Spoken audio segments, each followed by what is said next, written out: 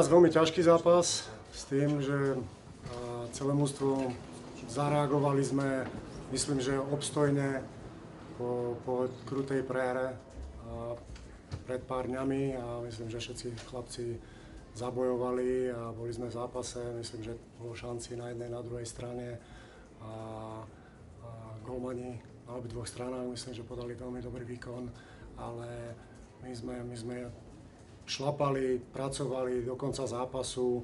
Keď zoberiem tú tretiu tretinu, áno, boli, tam boli dve čisté gólovky od supera, ale aj my sme mali také nepríjemné, nepríjemné situácie, ktoré sme mohli zužitkovať tiež, ale myslím, že sme sa vrátili do toho zápasu dobre a, a hovorím to v tom, tom predložení, ťažká situácia a, a tam si musíme prebrať tých hráčov trošku lepšie a, a gratulujem superovi k víťazstvu v predložení. Já děkuji panu Petroviskému, poprosím Jiřího Vebra o zápasu. Uh, tak start do začátek utkání si myslím, že jsme neměli špatný, že to bylo dobrý, ale to bylo tak 10 minut a po té desáté nebo kolem té desáté minuty uh, jsme byli v okrok, dalo by se říct, že jsme byli v okrok všude později, nebylo to, nehráli jsme pohromadě a v, ve vrcholením to bylo trošku v té druhé třetině, kde, kde jsme se dostali pod tlak. Soupeř byl lepší, rychlejší, důraznější a ta třetina skončila vlastně jedna jedna. A já říkám, dneska ten zápas z naší strany nebyl úplně ideální.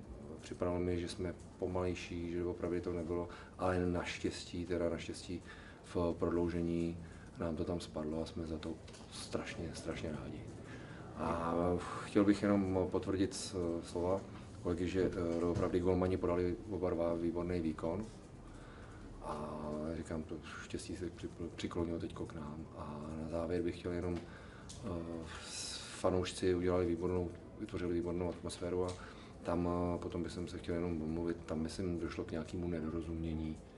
Takže to je a děkujeme těm fanouškům na podporu. Dominik Při děkovačce nějak uh, tam došlo k nějakému nedorozumění a chtěli bychom potvrdit nebo poděkovat fanouškům za podporu.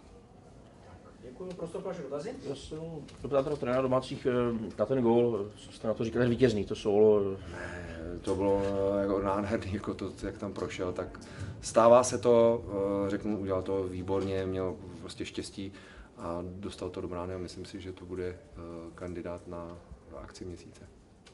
Děkuji, ještě nějaký dotaz?